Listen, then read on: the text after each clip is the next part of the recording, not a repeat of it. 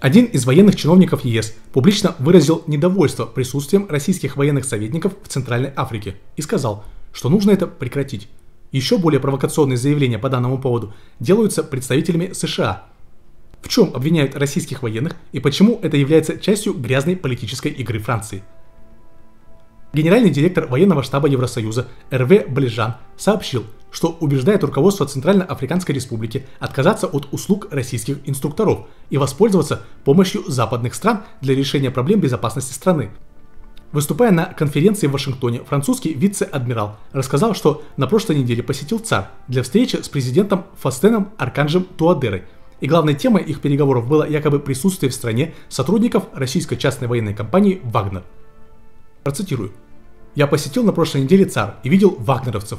Они там повсеместно. Они не привносят ничего в страну, за исключением, может быть, оперативных решений в области безопасности, но ценой множественных нарушений прав человека и тягот войны», — сказал Ближан. Я об этом много говорил с президентом Туадеры на прошлой неделе и призывал его признать, что это не жизнеспособное решение. Оно несет риски ответных действий из-за нарушений прав человека. В конце концов, у вас не будет контроля над Вагнером, и вы уступите ему часть суверенитета. Вам нужно это прекратить, изменить модель, пересказал он свой разговор с президентом ЦАР. Несколько ранее с подобными заявлениями выступила и постпред США при ООН Линда Томас Гринфилд. Согласно ее заявлению, которое распространила пресс-служба американского постпредства при международной организации, ООН предоставила доказательства, в том числе свидетельства очевидцев подробно описывающий насилие и злоупотребления, совершаемые в Центральноафриканской Республике наемниками, работающими в качестве подразделения Минобороны России.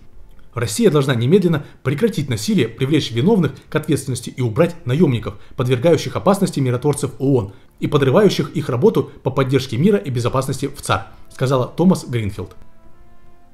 Россия, как известно, действительно совершенно официально отправила в Центральноафриканскую республику несколько сотен военных советников – Заявлялось, что это сделано для обучения военнослужащих национальной армии в рамках содействия Банге в вопросах укрепления обороноспособности и в ответ на просьбу руководства республики. Генеральный директор военного штаба Евросоюза. Должность столь же мифическая, сколь и узкорегиональная. Мифическая, ибо у Евросоюза нет своих вооруженных сил. Есть абстрактная идея о том, что они должны быть. А узкорегиональная, поскольку полномочия все равно не выходят за рамки Европы. Казалось бы, какое дело ЕС до присутствия российских инструкторов в Африке? Вице-адмирал РВ Ближан знаменит в основном борьбой с сомалийскими пиратами. Еще он коллекционирует предметы так называемый трибал арт, то есть собирает африканские статуэтки и поделки. Получается, что Африка ему не чужда и по профессии, и в быту. Кроме того, он в первую очередь француз, а уж затем чиновник Евросоюза – а Париж как раз очень тревожится из-за того, что буквально в считанные годы Франция потеряла практически все рычаги прежнего влияния в тропической Африке и регионе Великих озер. Виноватой назначили Россию. Попытки вернуться в Центральную Африку, вытеснив оттуда Россию, Париж предпринимает постоянно и использует при этом самые разнообразные методы. Цена вопроса для Парижа настолько велика, причем не только в финансовом плане, но с точки зрения чувства собственного французского достоинства, имперской гордости, что в ход идет все – от вооруженных провокаций до закулисных комбинаций и прямого дипломатического давления. Поездки адмирала Ближана по Центральной Африке как раз попытка уболтать африканцев по известным с прошлых веков лекалам. Другой вопрос, что Париж часто путает свою шерсть с государственной. Как говорилось в знаменитом советском фильме, адмирал Ближан на данный момент европейский чиновник, а не французский моряк. То есть его миссия – представлять коллективные интересы Евросоюза, что бы это ни значило – а в Евросоюзе достаточно стран, которые знать не знают, что там в Центральной Африке и знать не хотят. Кстати, РВ Брижан сменил в прошлом году на этом посту финского генерала Эссу Пулкинина. Вот скажем честно, очень сложно представить себе генерала Пулкинина, что-то растолковывающего президенту Туадери. А Ближан такое себе позволяет, поскольку использует свою дипломатическую позицию для продвижения интересов Франции, а не Евросоюза в целом. А зарплату он вообще-то в Брюсселе получает – а до этого в НАТО работал, заместителем командующего ВМС Альянса был. Год назад ЕС решил создать в ЦАР так называемую гражданскую консультативную миссию.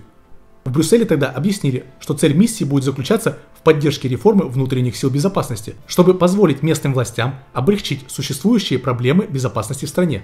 Эта сложная фраза означает, что в ЦАР должны приехать как бы гражданские специалисты из Европы, которые будут обучать и тренировать местных полицейских, жандармов и сотрудников спецслужб.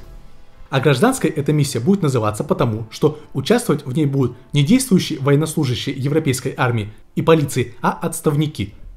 Те же наемники, только вид сбоку. И вы что-то про Вагнер говорите, но как принято сейчас говорить в цивилизованных странах, это другое. Кроме того, в ЦАР действует еще одна миссия ЕС по военному обучению – ЕУТМ РСА. Ее придумали в 2016 году для стратегических консультаций политическим и военным властям Центральноафриканской Республики, а также для обучения и подготовки ее вооруженных сил. Мандат этой организации недавно был продлен до осени 2022 года. На практике это несколько французских же офицеров, которые за огромный командировочный ничего не делают в банге, потому что их никуда не пускают. Их жаль, ибо так можно и спиться – ведь по идее они были готовы давать консультации руководству ЦАР, то есть по факту работать с президентом Туадеры и его ближним кругом. А сейчас там хмурые русские люди. Это нервирует тонкую французскую душу. Но с формальной точки зрения, все эти миссии и программы ЕС в ЦАР действительно существуют, хотя это довольно странно. ЕС собирается в Брюсселе и вдруг решает, а не послать ли нам миссию в Центральную Африку? А вас туда звали? Да, африканцы, как правило, легко принимают любую европейскую помощь, но такого рода миссии выглядят как вторжение. И сейчас адмирал Ближан пытался оказать давление на президента ЦАР, причем делает это крайне напористо и бесцеремонно.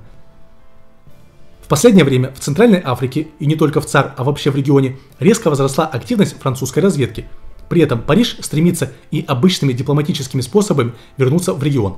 Показала это и недавняя поездка в Руанду президента Макрона, который принял участие в мероприятиях, посвященных геноциду – Получилось не совсем то, что он хотел, но некоторый прогресс достигнут.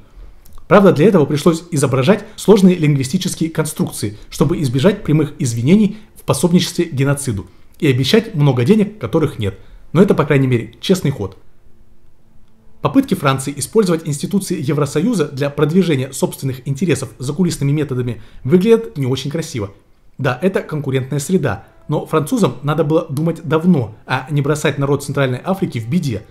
А теперь Франция пытается наверстать упущенное, используя все доступные методы, от дипломатии до шпионажа и прямого военного давления. Кстати, еще одним элементом давления стала уже привычная гуманитарка и нарушение прав человека. Некий Европейский расследовательский центр в прошлом месяце подготовил материал о том, что якобы российские инструкторы при освобождении города Гримари использовали чрезмерную силу – Фильм показали по CNN как свидетельство военных преступлений российских инструкторов. При этом никто из расследовательского центра и даже от CNN в Центральной Африке не был.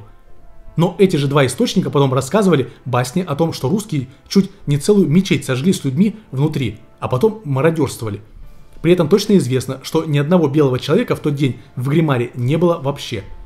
Опровергали эту фальшивку и представители правительства ЦАР, а затем и лично президент Туадера. Это еще одна ложь, прокомментировал обвинение и постпред России при ООН Василий Небензи. Мы к такому уже привыкли, но для африканцев информационные войны в новинку. Такой всемирный спрут, как CNN, воспринимается в Африке как безусловная воля Божья. И опровергать информацию из телевизора там не привыкли. Опять же, играть на некоторой наивности африканцев не совсем корректно, но похоже, что игра на площадке Центральной Африки и регионов Великих озер только начинается, и придется иметь дело с самыми различными методами и уловками. А что вы думаете по этому поводу? Пишите, пожалуйста, в комментариях и обязательно подписывайтесь на наш канал.